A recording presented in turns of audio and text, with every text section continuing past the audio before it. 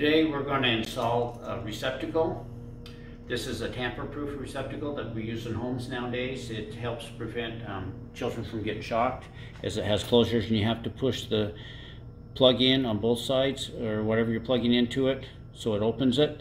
And if you look at here, we've got the ground screw and we've got aluminum looking screw and we got a copper looking screw. This is your hot, which is your black wire, red wire, doesn't matter which one, but um, this is the this is the hot. Or where you can look at, you've got a bigger slit, a smaller slit. Smaller slit would be your positive, which is your hot, and the bigger slit will be your neutral wire, which is white. And as you look, we've got these right here. So what we're gonna do is connect it. And I always twist my wires the same way I'm going to tighten down the screw, which is clockwise. And if you're not using the extra screws, terminals here, then I always suggest that you tighten them up so that they do not stick out.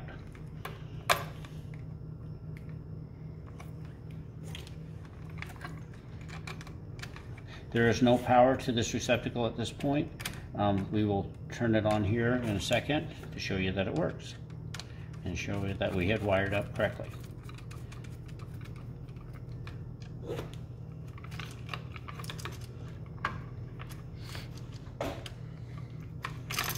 And it's always important to turn the power off um, when you're working on live electricity if you're not a professional.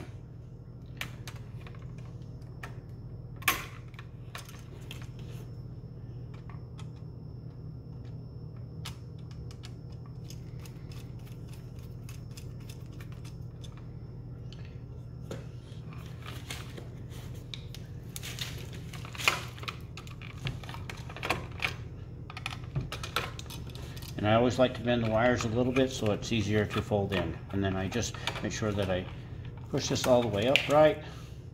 And grab the other screw that fell out.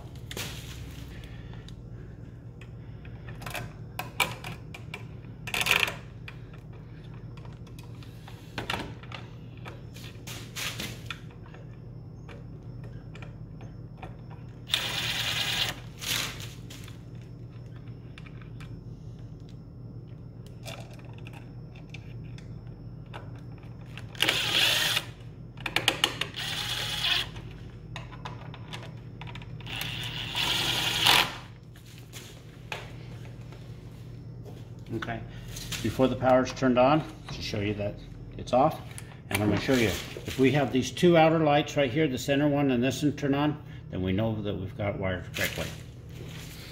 Now I'm going to go ahead and energize the power to it.